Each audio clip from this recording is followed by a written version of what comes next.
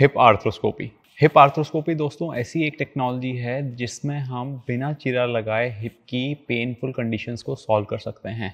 मतलब कि हम दूरबीन डालते हैं अंदर और आर्थ्रोस्कोप जिसको बोला जाता है और अंदर देखते हैं कि जो एमआरआई में एक्सरे में फाइंडिंग्स आई हैं, वो ठीक हैं कि नहीं, उनको ठीक करते हैं, उनको रिपेयर करते हैं और क्या क्या वो चीज़ें हो सकती हैं? ये पिंसर और कैम लीजन हो सकता है और एक लैब्रम टीयर हो सकता है। यानी कि जो बॉल के ऊपर की एक नेगेटिव सक्शन करने वाली, उसको